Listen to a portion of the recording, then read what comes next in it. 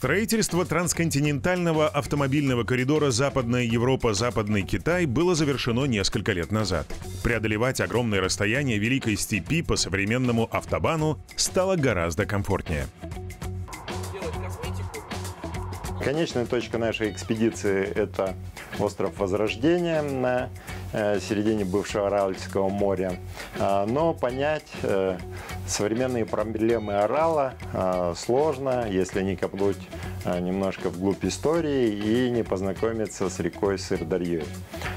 Чтобы вы лучше ориентировались в маршруте нашей экспедиции, давайте я вам покажу его на карте. А, мы стартовали из Алматы, а, миновали Тарас, а, Шимкент. И в Туркестане мы посетили археологический объект. Там как раз сейчас идут раскопки. Это древняя цитадель и город Ясы. Археологи обнаружили древнее городище в самом центре современного города Туркестан. В X веке он был известен под названием Шавагар, а с XII века назывался Ясы. Это был один из важных пунктов на северной ветке Великого Шелкового пути, шедшей вдоль Сырдарьи.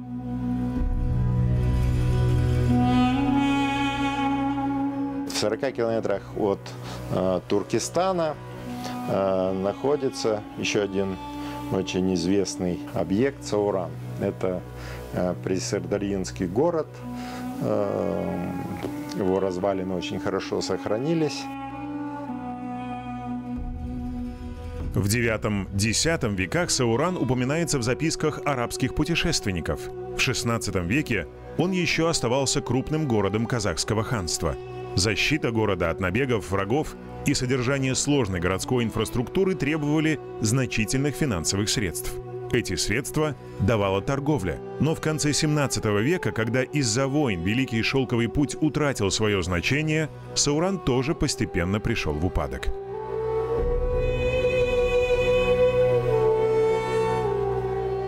Все эти присардарьинские э, города, это были земледельческие культуры, они были тесно связаны с водными ресурсами. Арабский путешественник X века Аль-Мукадаси в труде «Лучшее разделение для познания климатов» указывал на распространение в долине Сырдарьи культуры хлопководства и рисосеяния. В Средневековье площадь орошаемых земель была не очень большой, и земледелие не могло серьезно повлиять на водный баланс. Но во второй половине 20 века площади орошения в бассейнах Амударии и Сырдарьи многократно увеличились. Большинство ученых сходятся во мнении, что именно это стало главной причиной глобальной экологической катастрофы.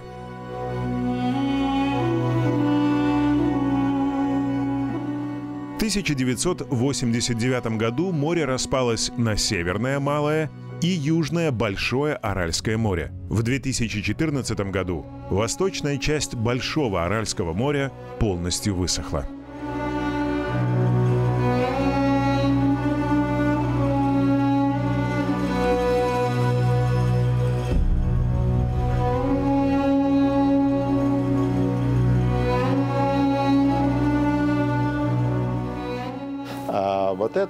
Сырдарья.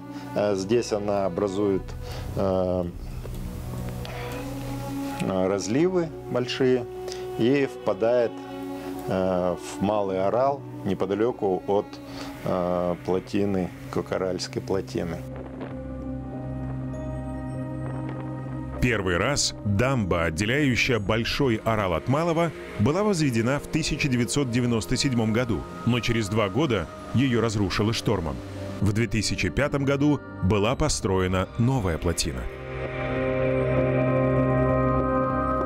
А наш план такой а, проехать через северо-западные а, по северо-западным берегам Аральского моря, потом посетить заповедник Барсак-Эльмес и дальше на юг границы Казахстана и Узбекистана, э, где находится остров Возрождения.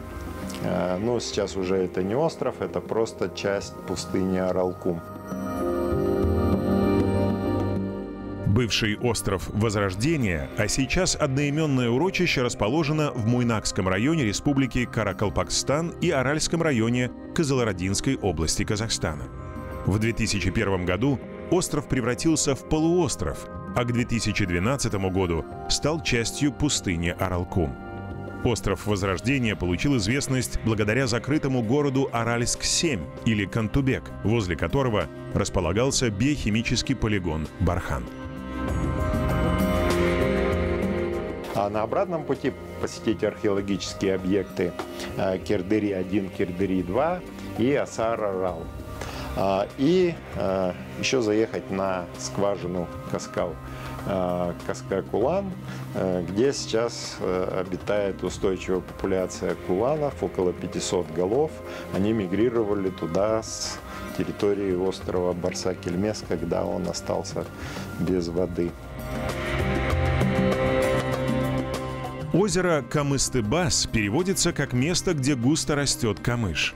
Когда-то огромная дельта Сырдарьи состояла из тысячи озер, проток и островов. Тростниковые заросли и тугайные леса тянулись на сотни километров. Здесь обитали тигры и неисчислимые стада кабанов.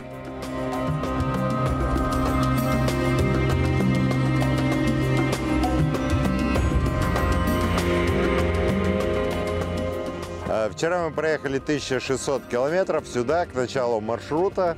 А, маршрут, собственно, по Оралу начинается на а, берегах озера Камышты-Бас. А отсюда мы сейчас подождем сотрудников заповедника, сотрудников фонда сохранения Орала и стартуем на остров Возрождения. Озеро Камыстыбас всегда славилось обилием рыбы. Мы вот, к сожалению, видим, что за прошедший год уровень воды упал э, метра на три. Последние два года выдались маловодные по всему Центральноазиатскому региону. Мы надеемся, что в будущем осадков будет больше, и уровень озера поднимется. Запомните наши лица, потому что мы уезжаем на, на Барса-Кельмес. Когда Барса-Кельмес еще был островом посреди бурного моря, рыбаки, возвращаясь с путины, иногда попадали в шторм и тонули. Отсюда остров получил свое мрачноватое название «Пойдешь, не вернешься». Наши старые друзья Балат Кабыкенович Бекнияс и Зауреш Жансултановна Алимбетова посвятили свою жизнь спасению Аральского моря. Они могут рассказать об Арале столько интересного одна из тех запланированных и долгожданных нами проблем, которая решилась в этом году, это, конечно, присоединение водно-болотных угодий Барсакельмесскому заповеднику. В настоящее время у Барсакельмесского заповедника участок на Аральском море, так называемый участок Дельта там, где э, основной идет нерез рыбы, и там, где собираются водоплавающие птицы. Дельтовые участки Сырдарьи внесены в список Рамсарской конвенции о водно-болотных угодьях, имеющих глобальное значение. Нашел такую удивительную вещь. В мире очень хорошо развита геоархеология, геологическая археология, когда благодаря вот, э, геологи геологическим, географическим, геоморфологическим признакам можно находить археологические памятники. Это очень, это характерно для этого региона, очень характерно, потому что многие города, древние города и поселения были заброшены только из-за нехватки воды. Та же Сырдаря, Мударя очень много ила несет, и она очень быстро меняет русло то население уходит из этого города, строит другой там и так далее, и так далее. Без воды, то есть здесь жизни нет. Тот известный Жанкент, э, это древняя столица Агузов, это до монгольский период еще, э, это 10-12 век. Э, рядом с ним городом, соседом был город Жент. Это родина Сельджука. Да. Вот Основателя это... Османской империи. И Османской империи. Вот этот город Джент, он был промышленным городом. там ковалось оружие, выпускались монеты, монетный двор был. Ну, э, такой промышленный город, э, а рядом находился вот Жанкент, столица Агуза, да. И что интересно, вот, археологи до сих пор не могут найти местоположение этого Жента. Не могли найти. И вот во время пандемии 2-3 месяца сидел, я читал всю эту литературу, поднял старые карты, сопоставлял многие факты. И в результате по координатам нашел местоположение этого жента. Я так думаю, что это жент. В условиях изменения климата и возрастающего дефицита ресурсов пресной воды ученые всего мира направляют усилия на водосберегающие технологии и замену влагоемких сельскохозяйственных культур менее влагоемкими. Мы сейчас с немецкими коллегами, учеными из Германии, будем делать трехгодичный научно-исследовательский проект. Он называется Киндертекс. Э, кендер – это растение, которое произрастает на этой территории. Оно э, есть двух видов кендыра. Это из семейства конопляных. Значит, кендыр по своим свойствам лучше, чем хлопок, но потребляет несколько раз меньше воды. Поэтому э, в Германии очень большой спрос на кендер. Население в Центральной Азии растет, но водных ресурсов больше не будет. Скорее намечаются тенденции к их уменьшению. Поэтому воду придется экономить. Рыба или хлопок? Хлопок или рыба? Мне лично больше нравится рыба. Но ликвидировать, э, перепрофилировать с таким трудом построенную систему сельского хозяйства, основанную на рисоводстве и на хлопководстве, в один момент, конечно, невозможно. Поэтому перед Казахстаном и Узбекистаном стоит очень непростая задача. Вещи, продукты, снаряжение тщательно упакованы, заправлены полные баки бензина, экспедиция готова к старту.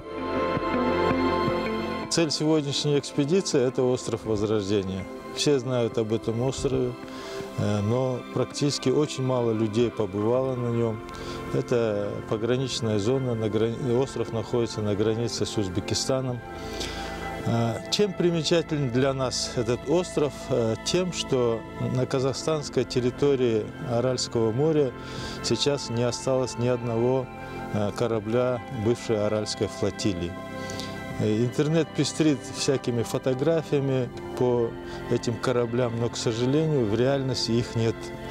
Э, были те тяжелые времена, когда было разрешено их утилизировать на металлолом, и, к сожалению, мы э, потеряли такой уникальный, э, можно сказать, туристический кластер наших аральских кораблей. Но Теперь осталась единственная возможность э, на острове Возрождения. До сих пор остались несколько э, кораблей, барж.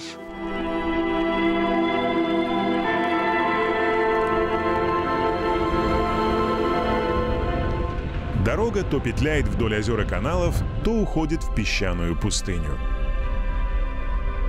У меня такая мысль, на самом деле мысль, а уже со вчерашнего дня внутри ощущение, что эта поездка очень много изменит в наших жизнях, наш взгляд на жизнь. Я согласился поехать на остров Возрождения, потому что э, я хочу возродиться после пандемии. Э, во время пандемии я набрал, по-моему, 15 лишних килограмм и надеюсь, что там их скину. Мы приближаемся к устью Сырдарьи. Слева от дороги видны разливы. Это Северное Аральское море. Международный фонд спасения Орала в Республике Казахстан э, пошел вот по такому пути, э, выиграл конкурс на ведение охотничьего хозяйства. Это полуостров Кукарал, это Северное Аральское море, размер охотничьего хозяйства 47 тысяч гектаров земли. Э, мы э, полностью э, делаем сейчас охотустройство, берем путевки, лицензии на отстрел, но не даем никому стрелять. То есть это своего рода такой общественный заповедник, как раз это зона покоя. Здесь видели очень много мест гнездования птиц. Вот это все побережье полностью здесь и птицы, и рыба. Приятно лишний раз увидеть, как в дельту Сырдарьи постепенно возвращаются звери и птицы.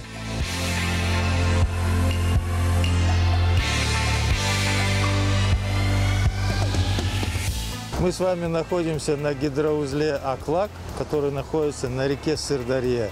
Это последнее сооружение перед морем. Значит, гидроузел Аклак предназначен для того, чтобы увеличить пропускную способность реки Сырдари, особенно в паводковый период и период э, ледостава. Второе предназначение э, этого гидроузла – необходимость поддержания уровня в системе прибрежных озер. Непосредственно отсюда э, Сырдаря впадает в Аральское море, а само Северное Аральское море подпирает Кокаральская плотина. От гидроузла Аклак до Кокаральской плотины 25 километров. Мы могли бы преодолеть это расстояние за 40 минут, если бы не пришлось потратить время на небольшой ремонт.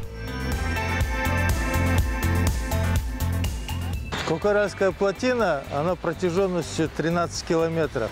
Вот это водопропускное сооружение, э, через которое основная вода э, с Малого Аральского моря уходит в Южное Аральское море. Во время весеннего половодья, чтобы бурные воды не разрушили плотину, гидросооружение работает на полную мощность, а в межсезонье вода накапливается в Северном Орале. Высота этой плотины около 6 метров. За счет этой плотины э, уровень э, Аральского моря поднялся на 4 э, метра. Сейчас отметка 42 метра. В наших дальнейших планах увеличить объем Северного Аральского моря и поднять уровень Северного Аральского моря до отметки, до проектной отметки 48-50. Для этого есть два варианта для увеличения объема. Это увеличение самой этой Кокаральской плотины еще на 6 метров, или же строительство новой плотины в районе залива Саршиганак. В 60-е годы в Аральском море вылавливали до 60 тысяч тонн рыбы. В 2000-х годах вода в Арале была настолько соленой, что в ней могла обитать только камбала – Сейчас в Малом Аральском море ежегодно добывается более 6 тысяч тонн рыбы 14 пресноводных пород. В прошлом году мы начали проект по э, установке рыбозащитного устройства на Кукаральской плотине. Помните, мы в прошлом году говорили, что очень много рыбы пропадает, оно перекатывается вместе с водой через Кукаральскую плотину и попадает в Южное Аральское море, а там разливы, соленые озера, соленая вода, и э, рыба практически погибает. Проводится, конечно, мелиоративный улов кое-какой, но все равно э, по подсчетам НИИ рыбного хозяйства порядка 4000 тонн рыбы пропадает это называется гидроакустическое РЗУ, рыбозащитное устройство. А, запатентовано институтом, а, то есть Казахским научно-исследовательским институтом рыбного хозяйства. На понтонах висят э, специальные акустические аппараты, то есть динамики. Рыбозащитная система на разных частотах издает отпугивающие рыбу звуки. В целях экономии она работает только во время массового хода рыбы.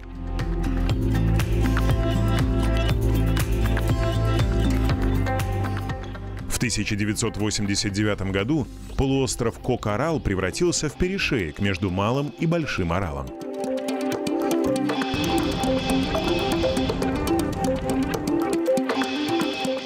Тридцать восемь часов находимся в дороге. Из них мы поспали, наверное, часов семь. Как видите, мы идем уже по Такыру. Я сейчас включу дополнительное освещение.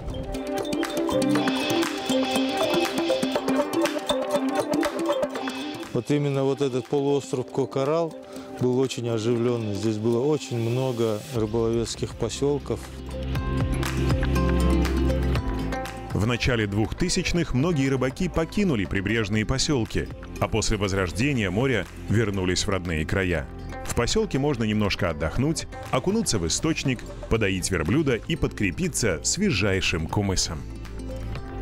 Недаром на Востоке говорят, на Бога надейся, а верблюда привязывай. Это хорошая мудрость, э, потому что если его ногу не привяжешь, когда доешь, он тебя этой ногой может хорошенько ударить. Верблюдоводство всегда было выгодно в местах с аридным климатом. Верблюды практически круглый год могут сами находить себе корм. Короткий отдых закончен. Нам нужно спланировать маршрут, запастись бензином и пора продолжить путешествие. Обрывистые берега отступившего моря называют чинками. Западный берег Аральского моря одновременно является восточным чинком плато Устюрт. Географический термин «чинк» введен в научный оборот специально для обозначения столовых плато Устюрта. Здесь можно совершить путешествие в далекое прошлое нашей планеты. Здесь можно найти окаменевшие остатки морских организмов древнего Сарматского моря, более 20 миллионов лет тому назад объединявшего нынешнее Аральское, Каспийское, Азовское и Черное моря. Современное Аральское море образовалось 16-18 тысяч лет тому назад во время ледникового периода – геологическое понятие э, Аральская котловина была заполнена э, водами, которые по некоторым гипотезам эти воды пришли с севера, со стороны э, западно-сибирской низменности. Когда происходило оледенение, то происходило запруживание сибирских рек, и западно-сибирская, восточно-сибирская низменность была наполнена водой, и произошел прорыв по Тургайскому прогибу, Когда-то глубина Аральского моря у его западного берега достигала 65 метров. Волны плескались у гребня Чинка.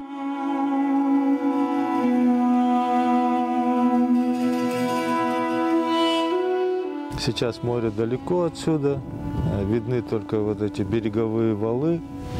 Э, само море, наверное, здесь километров 3-4. Да. В настоящее время э, вода есть э, в этом Западном море, но она очень соленая э, достигает 100-150 грамм на литр. В этом водоеме живут артемии, и раз живут артемии, здесь есть и колонии фламинго.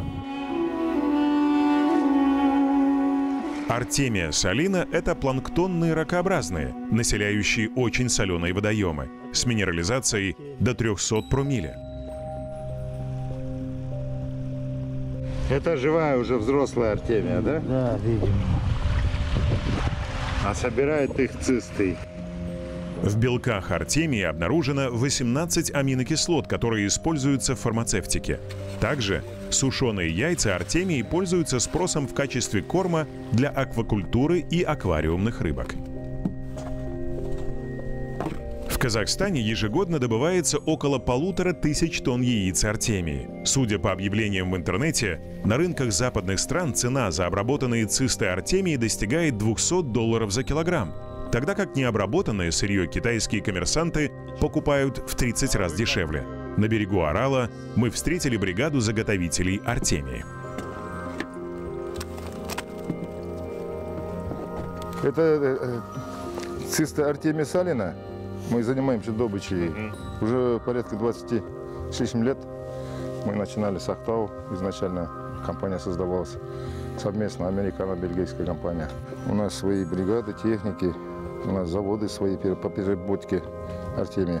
По направлению ветра мы обходим берег, смотрим. С берега собираем с очком, лопатами. А фламинго э, часто вы здесь видите? Фламинго у нас там на углу постоянно сидят. У нас Они есть... тоже питаются артелью? Это, это, это наши конкуренты. Вот, например, мы в день собираем 30 мешков по 50 килограмм. Это полтора тысячи килограмм. Но из них там больше э, песка. Ну, так как мы гребем ее. Фламинго, она чистую собирает. Это, считайте, если тысячи фламинго по 700 грамм в день питается, то получается 7 тонн. Если все заготовленное сырье перерабатывать и продавать по международным ценам, то этот ценный природный ресурс поможет создать много рабочих мест и обеспечить значительные налоговые отчисления.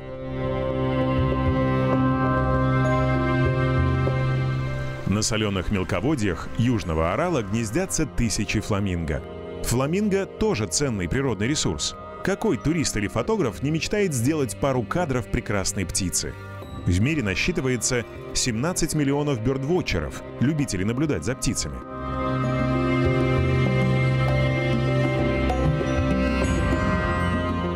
Живописные чинки орала привлекают туристов и фотографов со всего мира. Если не спеша побродить по окрестностям, можно увидеть много интересного.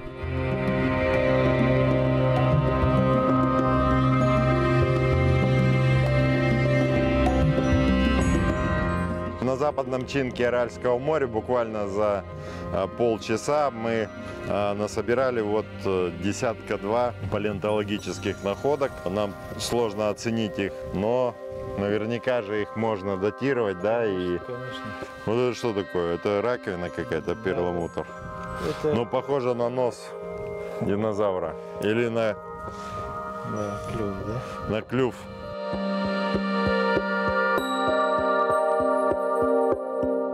Двадцать-тридцать миллионов лет назад здесь был тропический климат. На берегах мелководных заливов обитала так называемая тургайская фауна. Индикотерии, тапиры, халикотерии, болотные носороги. Окаменевшие останки млекопитающих труднее найти, чем моллюсков, но специалисты находят. Последние годы большую популярность набирает научный палеонтологический туризм. Сбором древности увлекаются не только профессиональные ученые, но и продвинутые любители. Период жизни этих встречающихся моллюсков, он довольно широкий. Он может быть от палеогена э, до неогена, от эм, э, меловых отложениях и всех. Поэтому по этим коллекциям точную дату, конечно, не определишь, но э, идентифицировать все это можно. Э, Просто э, очень приятно, что находятся вот такие шикарные экземпляры э, двустворчатых моллюсков, сохранившиеся отлично. Э, Пройдет 2-3 года, и, к сожалению, вот это э, кальциевое покрытие, оно разрушится, и уже не- э, останется только окаменелость сама. Поэтому я думаю, что э, находить и собирать эти э, для э, учебных целей, для палеонтологических музеев, это, это очень правильно. Дно восточной части Большого Аральского моря превратилось в громадный идеально ровный такыр. Здесь машины могут разгоняться до 80 километров. Мы берем курс на городище Кердери.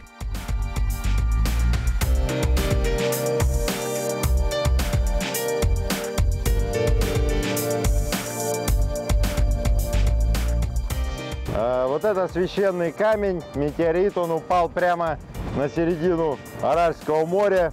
И если приложить к нему руки и загадать желание, то они наверняка исполнятся. Дурен, ты что загадал? Счастье. Ну, я схитрил тут немножко. Если ты кому-то рассказываешь о своем желании, то оно не сбывается. Поэтому я тебе не скажу, извини. Не, не желаю счастья. Но я счастлив. Ветер усиливается. Мелкая соленая пыль хрустит на зубах, забивается под одежду и в аппаратуру. Урочище Кердери встречает не очень гостеприимно.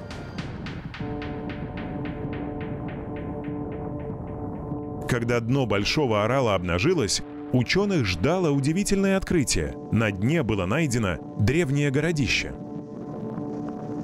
Работы на данном поселении и на памятнике Кердери-2 проводили э, Карл Байпаков и Дмитрий Воякин. Я присоединился к ним только в 2006 году. И, конечно, это для меня был очень потрясающий опыт. Ехать по высохшему дну моря, там 15 сантиметров ила и ракушек, прямо какая-то другая планета. И вдруг посреди вот всей этой равнины увидеть древние развалины. В то время у нас не было с собой дронов, то есть мы не могли посмотреть э, территорию сверху, поэтому мы возили с собой мотодельтаплан. Само поселение представляет из себя культурный слой буквально 15-20 сантиметров, оно было однослойное.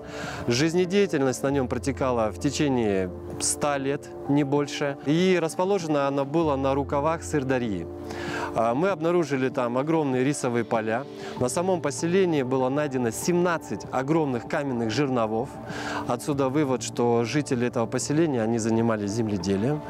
И из находок было найдено две монеты золото-ордынского периода, то есть что позволило датировать это поселение примерно середины XIV века.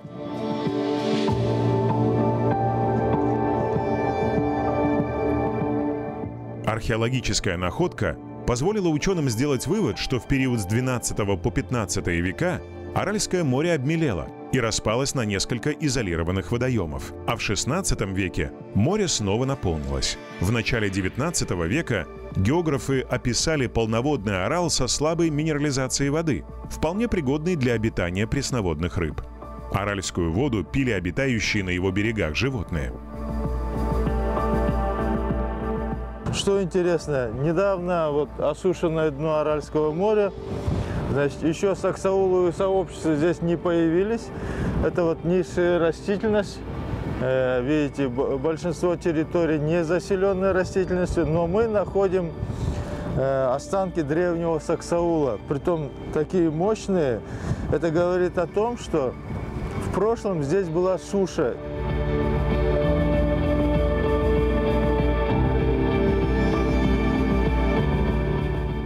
У северного берега Барса-Кельмеса мы нашли рыболовецкую шхуну.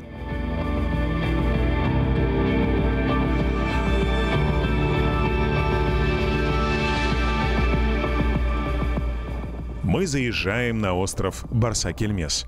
Ландшафты сразу меняются. Солончаковая пустыня сменяется густыми саксауловыми лесами.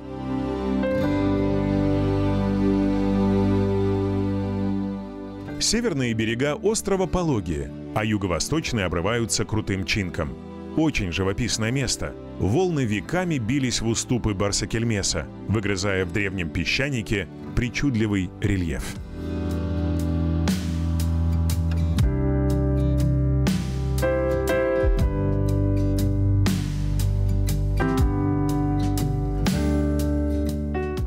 А вот и база заповедника –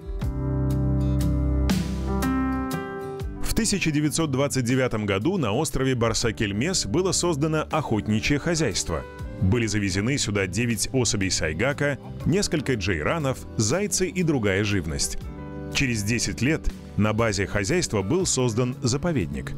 В 1953 году на остров из Туркмении было завезено 14 особей кулана. В конце 20 века Популяция сайгаков на острове превышала тысячу особей, а куланов стало около 300. В 1997 году Барсакельмес превратился в полуостров, а через 10 лет стал просто участком пустыни.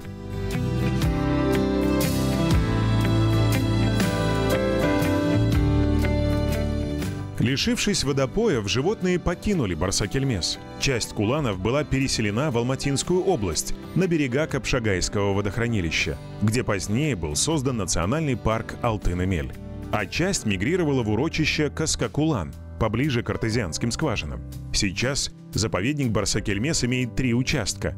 Непосредственно территорию бывшего острова, водно-болотный участок в дельте Сырдарьи и участок Каскакулан – где обитает устойчивая популяция куланов численностью около 500 особей.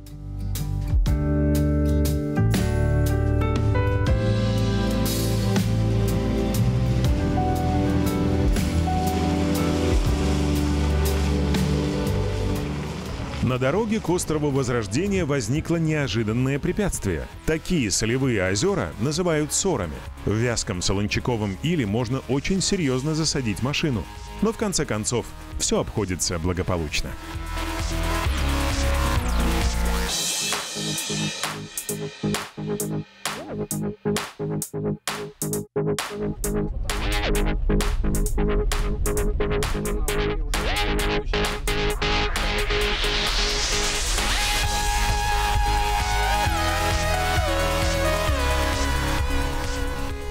Вот мы и на бывшем острове Возрождения.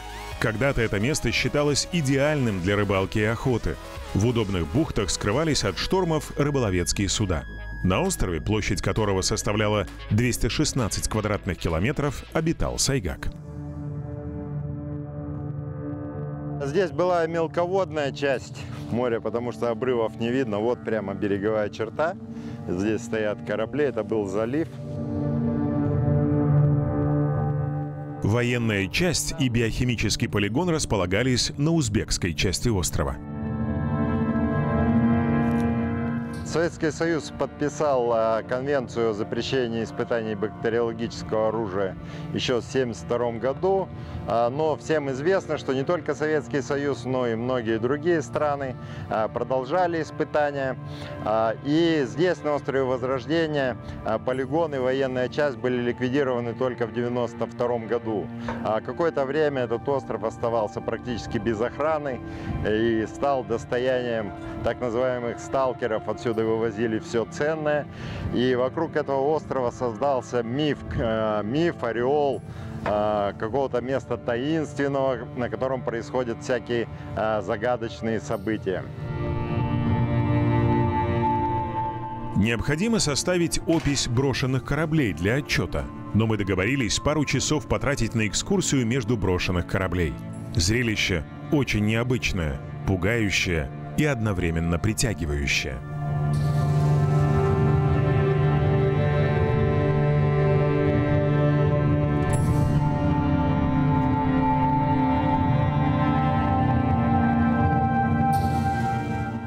Вот остров с таким а, оптимистическим названием, остров Возрождения. Но здесь скорее можно снимать апокалиптические фильмы о печальном будущем, которое ждет человечество, если мы также будем относиться к своей природе.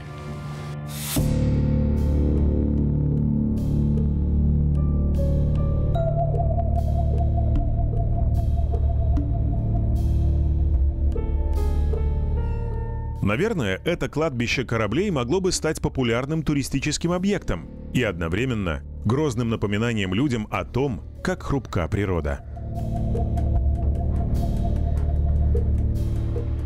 А ты как здесь оказался? Заклинило. Там в темноте лазил, наткнулся, очки себе сломал. Когда в 1848 году остров Возрождения был впервые описан экспедицией лейтенанта Бутакова, уровень моря был на 20 метров выше.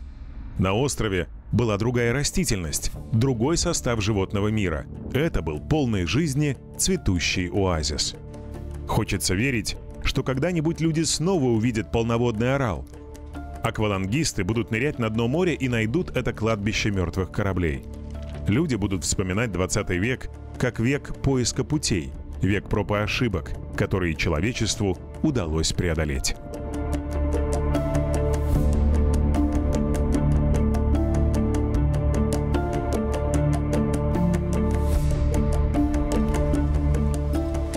Ну что, друзья, сбылась одна из моих мечт.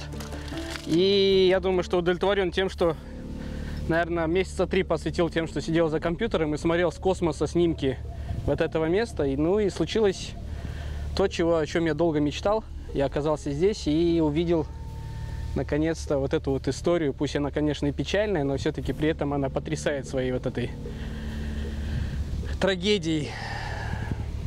Очень тяжело видеть, что море отступило, конечно, так, и вокруг нас только пустыня.